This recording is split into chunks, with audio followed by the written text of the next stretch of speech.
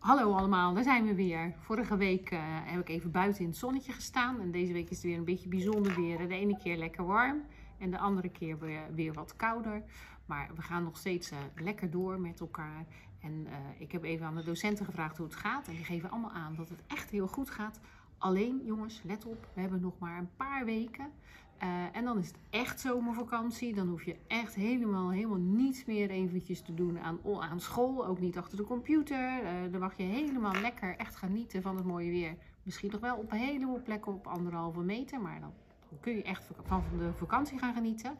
Maar nu moet je nog eventjes wel een beetje een beetje toezetten om nog even de laatste dingen wat goed te doen. Hè? Want je moet wat cijfers, moet wat toetsen gaan doen. Je moet een beetje goed voorbereiden dat je op een goede manier over kan naar volgend schooljaar. En daar hopen we natuurlijk elkaar weer echt, echt gewoon normaal te mogen zien. Volgende week horen we dat of de scholen weer open mogen. Echt weer helemaal en niet op anderhalve meter. En dat is voor ons denk ik wel het, het meest prettige.